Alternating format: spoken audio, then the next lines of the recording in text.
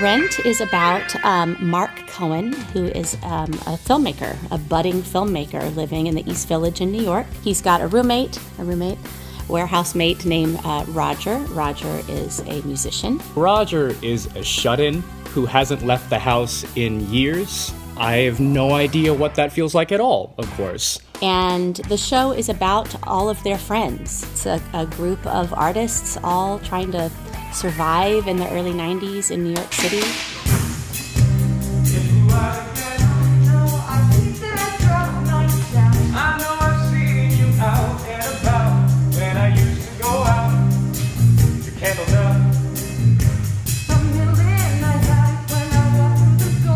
It's a very fun show. It is so fun, and all the numbers are fantastic, and everybody's amazing, and they're kicking, and they're singing, and they're jumping. But there is a really dark undertone to it because it's people trying to stay hopeful in a time where nobody knows what's going to happen.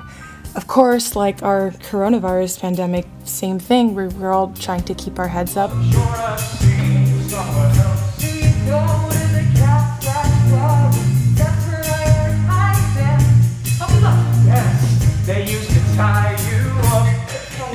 But yet here we are doing a show, doing our art, and they are the same. Mimi's a dancer, Roger's a musician, and he's still trying to write a song, and she's still dancing at the club, and they're still trying to find love. But the theme of the show is No Day But Today. So, you know, all these struggling artists are getting through every day because they're living life to the fullest every day.